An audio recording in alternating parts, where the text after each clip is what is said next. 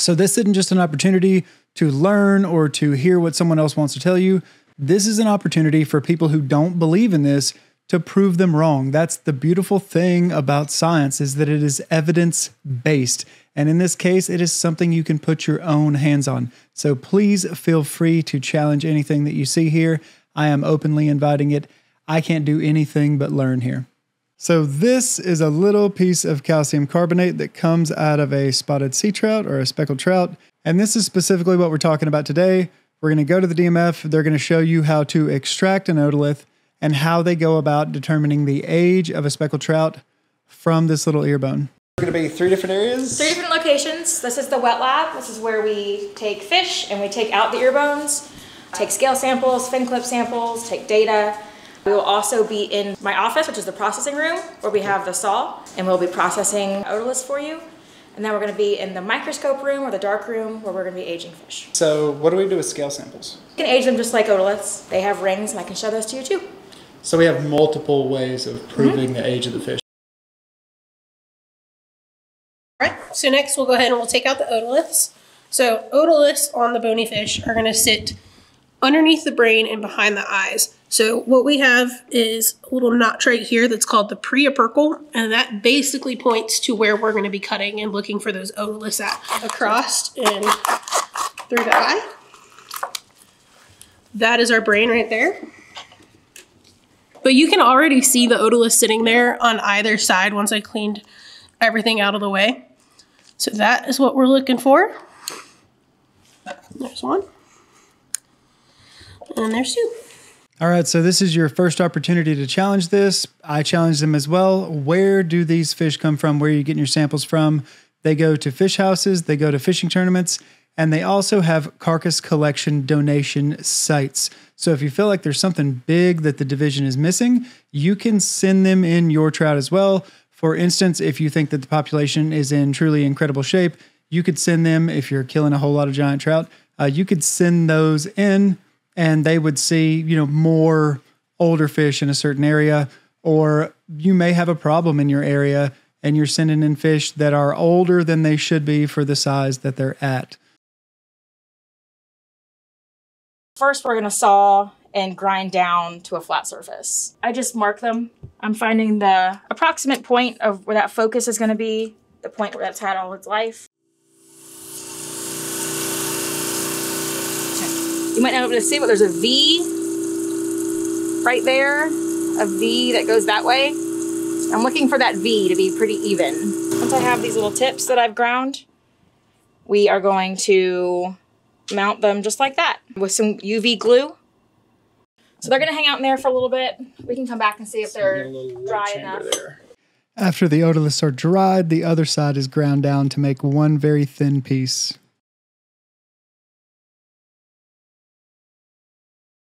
Oh, this okay. is the speckled trout. The, the really big speckled trout. 11 pound, 11 ounce. This right here is the focus, the spot that it's had all its life. We're going to count the dark rings so one, two, three, four, five, six. You can kind of see the line starting to come up here. The annuli is starting to show up here and kind of in this corner here. Um, so we'd bump it from six to seven to put it into its cohort, not necessarily into its actual current age. So we'll do that between the first of the year and the date of annuli formation, mm-hmm. which is usually in the spring, late spring, ending usually in June or July. So this slice is uh, half a millimeter. Oh, okay. So that is the slice you're looking at. Well, there you have it, folks. That absolutely legendary fish, not a fish of a lifetime, a fish of 10,000 lifetimes. Um, I do this so much, and I guarantee you I'll never see an 11 pound trout in my life. I'm fairly certain of it, but while we're on that subject, so what, what is the typical age of a, a, speckled trout? We talked about this earlier. What's the typical age of the vast majority of a speckled trout that we see? Two. Two, Two is our cohort. two years old, right? Of. So that's that's even from the fish house. That's that's everywhere, right? Which I mean, that's normal, right? So as you have mm-hmm. depletion uh, in a stock, um, but what is the lifespan of a speckled trout? I'm pretty sure they do get up to nine, right? I nine, think we can see nine nine. years. Is... We really don't see that a lot, though. Have you ever seen like, nine before? I have not. I don't. I don't think so. You I think, think, six, seven is about the biggest we get. Six, seven.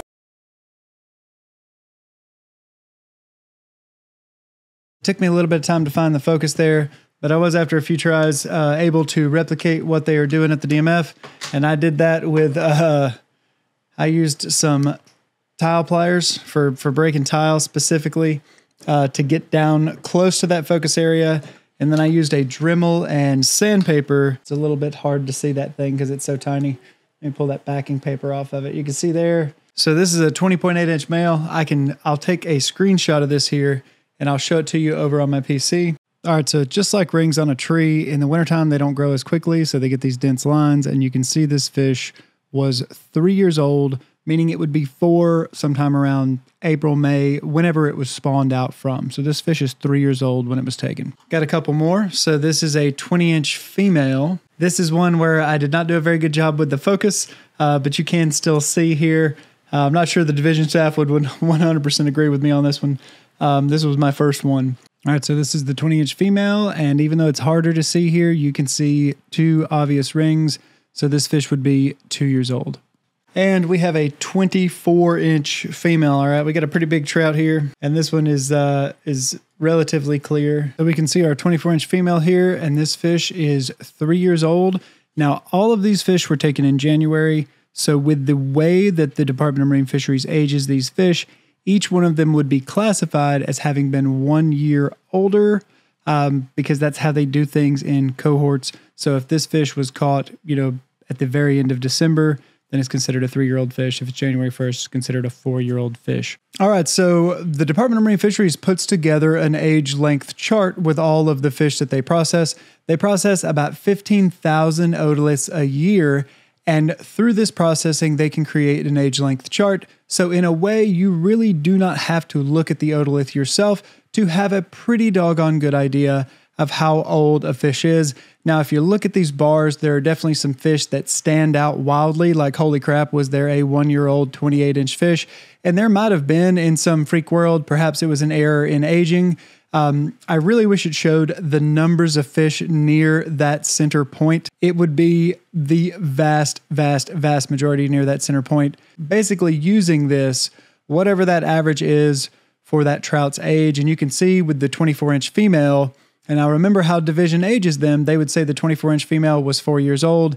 If we look at her on here, we'll see pretty much exactly the same thing.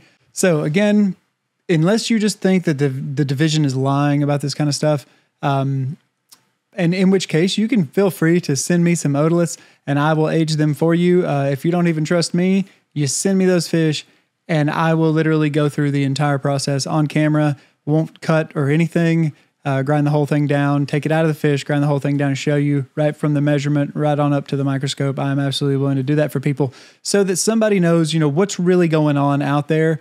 Um, but for those of you who see how obvious this really is, the age length charts are good. And the thing I want to point out here is that the state record was a seven year old fish. And remember, remember, a six year old fish is truly what that 11 pound, 11 ounce was it was truly six years old, but they put it into cohorts because that's the way the division looks at it. They try to look at year classes and the health in each year class. And this, this can tell them the mortality rate over time, right? There are a ton of fish in North Carolina right now. There's absolutely no question about that.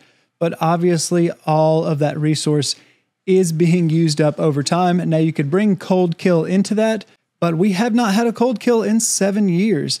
And the vast majority of the fish that are coming in are one and two year old fish.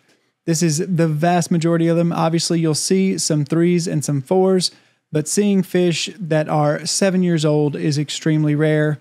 There hasn't been a cold kill in seven years. So you explained it to me what is going on. How healthy truly is the speckled trout population in North Carolina if we don't have any fish reaching that? And I'm not saying that's a bad thing. We're utilizing the resource uh, we don't want fish to be dying of old age. That means they're not coming out of that system.